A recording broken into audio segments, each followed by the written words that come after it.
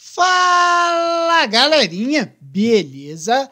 Eu sou Marcelo Bolinha e estou resolvendo a prova de Física do vestibular 2010 para o primeiro semestre da Universidade de Passo Fundo. Eu vou fazer agora a questão número 56.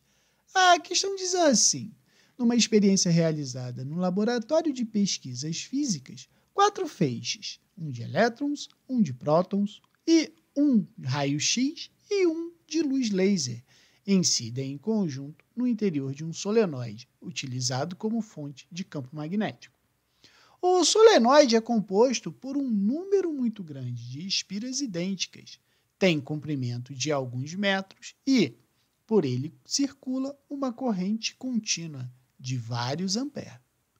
Quando o feixe composto incide no interior do solenoide em direção paralela a seu eixo principal, o eixo X, pode-se esperar que, primeiro, o feixe de elétrons se desvie em direção perpendicular ao eixo do solenoide, por causa da interação da sua carga com o campo magnético. Cara, tá errado. Por que tá errado? Porque o elétron, o feixe de elétron, ele vai ser exatamente o nosso fluxo de corrente elétrica. Pela regra da mão esquerda, o dedão né, do joinha, ele vai indicar o fluxo da corrente elétrica, tá? Pela regra da mão direita, perdão. E os restantes dos dedos seria o nosso campo magnético. Então, esse cara aqui seria o I e esse aqui seria o nosso B, certo? Se a gente for analisar em relação à força magnética, pela regra da mão esquerda, a gente vê que o dedo feio, o dedo do meio, ele vai representar a direção da corrente elétrica. O B, que é o dedo de apontar, vai ser do campo magnético. E a força magnética vai ser o dedo do joinha. Note que a força magnética ela vai ser perpendicular à corrente elétrica e ao campo, tá? E o que, que ele disse aqui? Que o feixe de elétrons se desvia em direção perpendicular ao eixo do solenoide pela interação da carga com o campo magnético.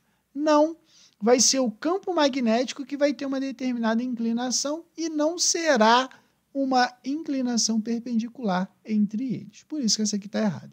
A número 2 fala que os feixes de elétron e de prótons se desviam em direção perpendicular ao eixo do solenoide por causa da interação das suas cargas com o campo magnético. A gente acabou de falar, por causa da regra da mão esquerda, quem vai ser perpendicular é a força magnética. Então, esse cara também está errado.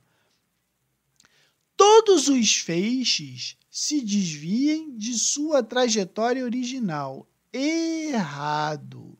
Por quê? Porque se a gente for pensar, né, o, o, os prótons e os elétrons, eles vão ter uma determinada inclinação, ou seja, eles vão ter um determinado desvio. Porém, a gente tem que lembrar que no nosso caso aqui, como ele deu raio-x e o laser, tá? O raio-x, ele é classificado como uma onda ionizante. O que é isso? É um, uma onda, né, onde ele é capaz, o raio-x, ele é capaz de, re, de remover carga elétrica dos átomos em virtude da sua grande quantidade de energia. Então, quando o elétron, o, o raio-x entrar aqui nesse solenoide, ele não vai seguir, é, sofrer nenhum desvio, entendeu?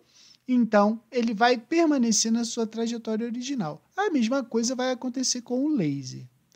E a número 4, ele fala: o único feixe que não irá se desviar da sua trajetória é o feixe de luz. Beleza, mas tá errado, porque a gente também tem aqui o raio-x que não sofre desvio. Então, com isso, a gente chega à conclusão de que todas as alternativas estão erradas. Por isso que a resposta está na letra E, beleza? Qualquer dúvida, deixe nos comentários que eu te respondo.